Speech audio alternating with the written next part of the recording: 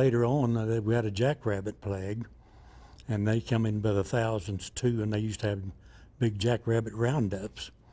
And that'd be where all the farmers and ranchers would get together and they'd form a big circle, maybe over around a quarter quarter of land. I don't think we ever had enough to do a section. But they'd get around a quarter and they'd start driving them into the middle, and then they'd take clubs and kind of get rid of them. Sounds vicious, but it was just the way the things were. They had to move them. There wasn't anything living after they'd get through with them.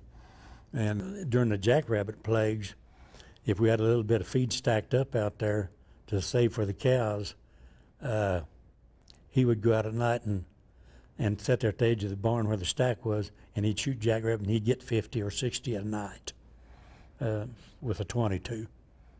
And they're trying to keep him keep him from eating his feed stack up.